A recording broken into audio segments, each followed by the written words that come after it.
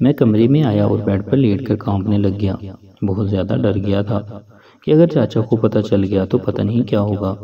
कांपते हुए बेड पर लेटे रोने लग गया। रोना भी आ रहा था और गुस्सा भी कि नाजी मेरे साथ वादा करके चाचा से। रोने से हिचकियाँ बंद गईं। थोड़ी देर बाद नाजी कमरे में आ गई और बोली, क्या हुआ? रो क्यों रहे हो? डर गए हो? खादम ने कुछ कहा, है या कुछ और हुआ है? मेरी रोने की स्पीड और तेज हो गई। नाजी ने मुझे अपने सीने लगाया और मेरी पेशानी को चूमते हुए बोली, क्या हुआ आमिर? मैं मुसलसल रोते हुए बोला, कुछ नहीं, मैं डर गया था कि आप चली गई हो। नाजी ने मुस्कुराते हुए कहा, मैं चाचा को खाना देने चली गई थी।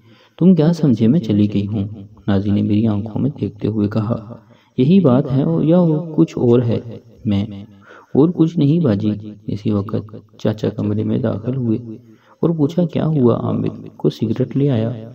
नाजी बोली, डर गया है? बस मैं संभाल लूँगी। चाचा ने कहा, ठीक है, बर्तन उठा लो, मैं खाना खा लिया है। मैं समझ गया कि अब चाचा पूछना चाहते हैं कि मैंने देखा तो नहीं, और नाजी को बहाने से कमरे में बुला रहे हैं। नाजी ने भी इशारा दे दिया था, ऐसा कुछ नहीं है। चाचा के जाने के बाद नाजी, आमिर, वो फ़िल्म भी देखनी है, हमने वीसीआर लगाओ। मैं चाचा के कमरे से बर्तन ले आऊँ। मैंने नाजी को पकड़ लिया। नाजी मुस्कुराते हुए बोली तुम करना चाहते हो? मैं मुस्कुरा दिया नाजी ने मुझे गाल पर किस की और बोली अभी आती हूँ। चाचा के कमरे से बर्तन उठा लाऊं। फिर कहते हैं जैसा तुम कहोगे वैसे करेंगे। नाजी थोड़ी देर में वापस आ गई और आकर मुझे गले लगाकर प्यार करते हुए बोली आमिर अब सब कुछ सच सच बताओ। मैंने कहा वो मैं सिगरेट लेकर वापस आ रहा था कि गुजरों का कुत्ता मेरे पीछे लग गया। इसने मुझे काट लिया। इसी वजह से मैं परेशान था और रो रहा था। नाजी फ़ौरन उठी और बाहर गई। चाचा को बताया कि मुझे गुजरों के कुत्ते ने काटा है। चाचा भी मेरे पास आए मेरी टांग चेक की और बहुत प्यार से पूछने लगे ज़्यादा जख्म तो नहीं हुआ? मेरे पुत्र को जब इनकी तसल्ली हो गई कि जख्म ज़्यादा नहीं है तो वो उठे और कहा मैं अभी इनको दुरुस्त करके आता हूँ। अपना कुत्ता संभाल के रखें।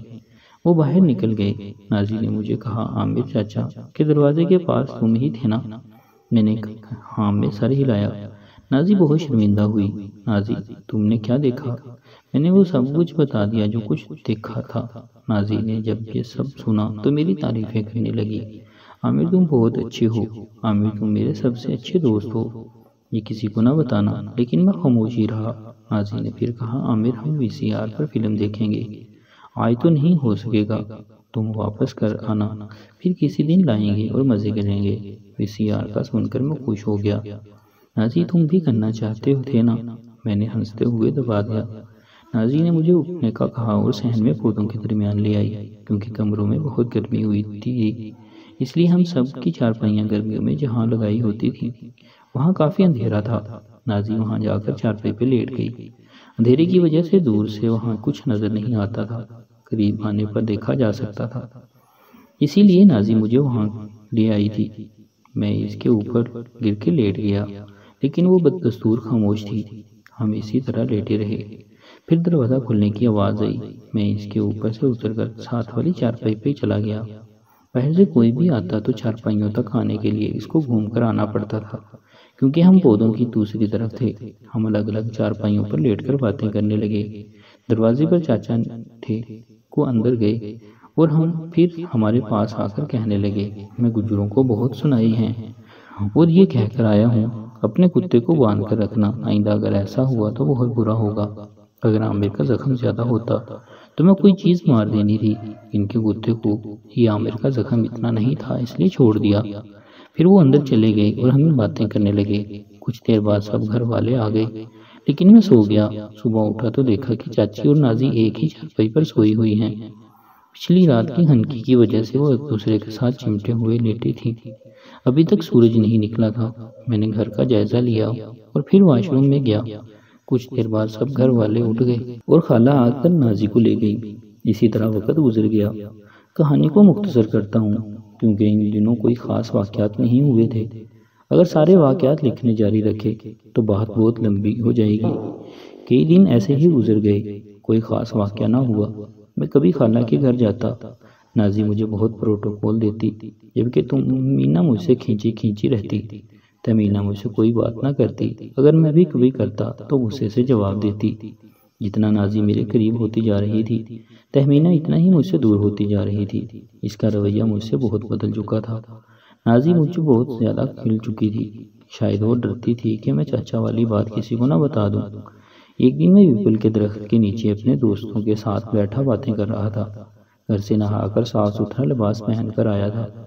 मगरब की जानब से काली घटा उठी सब बच्चों ने शोर मचाना शुरू कर दिया।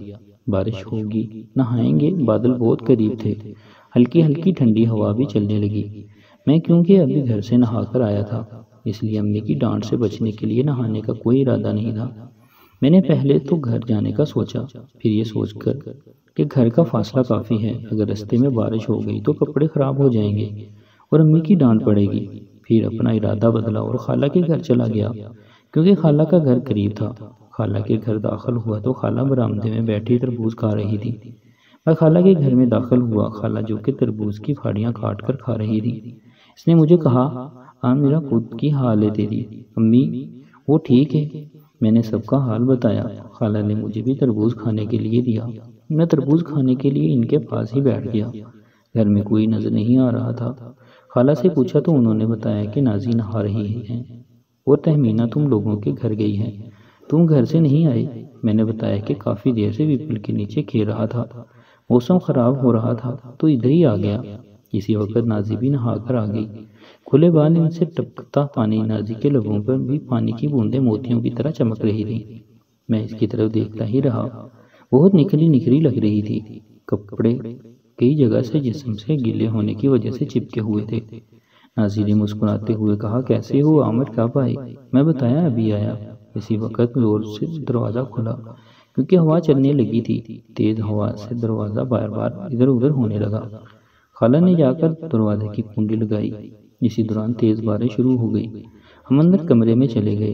तेज़ बारिश कोई एक घंटा होती रही। साथ हवा भी चलती रही। मौसम बहुत ख़राब रहा। एक घंटे बाद बारिश रुक गई लेकिन हवा अभी भी चल रही थी। हवा चलने से मौसम बहुत खुशगवार हो गया था। यही मौसम गाँव की औरतों का पीपल के दरख्त के नीचे इकट्ठे होकर सारे इलाके के लोगों पर तबसरा करने का होता था। इसलिए खाला भी जाने लगी और मुझे कहा आमिर अपनी बाजी के पास ही रही, मैं बाहर जानती पई और वो चली गई, लेकिन हवा तेज़ होने की वजह से दरवाज़ा खुल गया। खाला ने फिर वापस आकर मुझे कहा, आमिर पुत बुआ बंद कर ले, हवा जल्दी पई है। आजा मेरा पुत। मैंने जाकर दरवाज़ा बंद किया, कुंडी लगाई और वापस कमरे में आ गया। नाजी बेड पर नीम दराज थी। मैं इसके पास जाकर बैठ गया। इसने मुझे देखा और फिर दरवाजे की तरफ़ देखते हुए अपनी टांगे लंबी कर ली। टांगे लंबी करने के बाद मेरे सर में हाथ फेरते हुए मेरा सर अपनी गोद में रख लिया। मेरा सर इसकी मोम जैसी नरम रानों पर था।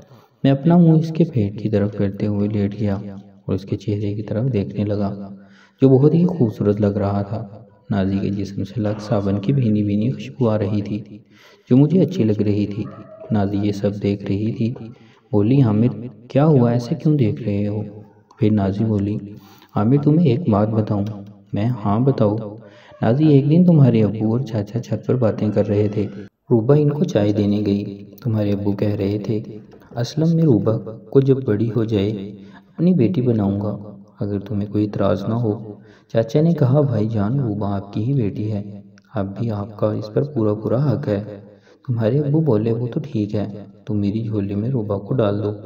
मैंने हैरान होते हुए कहा, वो रूबा को अपनी बेटी क्यों बनाना चाहते हैं? नाजी, तुम मेरे बुद्धू हो पागिल। वो तुम्हारी और रूबा की शादी की बात कर रहे थे। मैं क्या अबू मेरी शादी कर देंगे? नाजी, अभी नहीं, जब तुम बड़े हो जाओगे, तब करेंगे। मैं, हम, नाजी, तुम्हारे चाचा तुम्हारे अबू से और तुम्हारे अबू तुम्हारे चाचा से बहुत प्यार करते हैं। इसलिए चाचा आराम से मान गए, लेकिन तुम्हारी चाची बहुत ख़राब है। एक नंबर की चलाक औरत है। जब रात को चाचा ने चाची से बात की तो चाची ने उनको कहा, आप भी कमाल करते हैं। ऐसे कैसे हाँ कर दी? अभी रूबा बहुत छोटी है और पढ़ रही है और आमिर भी पढ़ रहा है। फिर अभी इनकी उम्र ही क्या है? अगर अभी इसे इनके जहन में ऐसी बात डाल दी तो वह क्या सोचेंगी? ये अच्छा नहीं होगा। तुम्हारे चाचा को तो पता नहीं चाची ने कौन से तावीज़ पलाए हुए हैं। वो चाची की बात भी नहीं टालते और मान गए। मुझे नाजी की यह बात सुनकर बहुत अजीब लगा। नाजी मेरे साथ बहुत फ्री हो चुकी थी। इसने फिर बात जारी रखते हुए कहा तुम्हारे पता है ये सब बातें मुझे चाची ने खुद बताई हैं। इसके अलावा चाची ने मुझे ये भी कहा है कि वो रूबा की शादी अपने भाई के बेटे से करेगी। बड़ी लालची है। चाची अच्छे खासे खाते पीते घराने से थी। इसके एक भाई की शहर में दो दुकानें थीं जो इसने किराए पर दी हुई थी। और दूसरी का प्रॉपर्टी का बिज़नेस था। दोनों खाते पीते घराने थे। इनकी नस्बत मैं गरीब घर का चश्मे चिराग था बस इसीलिए चाची ने ऐसा सोचा था। इस बात ने मेरे दिमाग पर बहुत असर किया। मैं इस दिन एक फैसला किया जिस पर आज भी कायम हूँ। नाजी ने फिर कहा, मुझे भी इस काम पर तुम्हारी चाची ने लगाया। बड़ी बुरी है। मैं बाजी, तुम ये सब छोड़ दो। नाजी, ये सब छोड़ना इतना आसान नहीं है। जब तुम्हें, मुझे तुम्हारे और रूबा के बारे में पता चला, मैंने सोचा तुम दोनों को करते हुए देखूँगी। पता मुझे क्या हुआ? तुम्हारे साथ वो सब कर लिया, लेकिन आम्बर तुम बहुत अच्छे हो, इसलिए मैं तुम्हें पसंद करती हूँ। मैंने जब होश संभाला तब से ही मैं चाची के करीब हो गई। चाची भी मेरा बहुत ख्याल रखती थी, लेकिन सबसे ज़्यादा हम इस वक्त फ्री हुए। जब शान पैदा हुआ, जब शान पैदा हुआ, मैं चाची को संभालती थी। तब चाची ने मुझे ये सब बताया और मैं इनकी बातों में आ गई और ये सब कर लिया। तब से लेकर अब तक मैं बस फंसी हुई हूँ। नाजी आए सब कुछ खुलकर बोल रही थी, हालाँकि तुम्हें तहमीना को नाजी के खादम के साथ चक्कर का पता था। लेकिन वो इनके जिनसे ताल्लुक़ के मुतलक नहीं जानती थी। खादिम और नाजी के दरमियान कोई जिसमानी ताल्लुक़ नहीं था। नाजी पता नहीं का दिल में दबाव अपना गुबार निकाल रही थी। वो मुझ पर बहुत ज़्यादा अतमाद करने लगी थी। इसलिए बताती जा रही थी। नाजी ने मज़ीद मुझे बताया कि चाची ने ही इसको चाचा के साथ करने के लिए उकसाया था। वो ये कहकर पता लगाओ, वो किसी और की तरफ़ देखते हैं। कि नहीं? मैं बेवकूफ़ इसकी बातों में आ गई मुझे सब कुछ नाजी बता रही थी। हालाँकि मुझे इन बातों से ज़्यादा समझ भी नहीं आ रही थी। अगर मैं समझदार होता तो कुछ बोलता भी, कोई मशवरा देता। नाजी फिर बोली, आमिर, एक बात और, ये सब बातें जो मैंने तुम्हें बताई हैं, किसी को ना बताना, वरना बहुत लड़ाई होगी।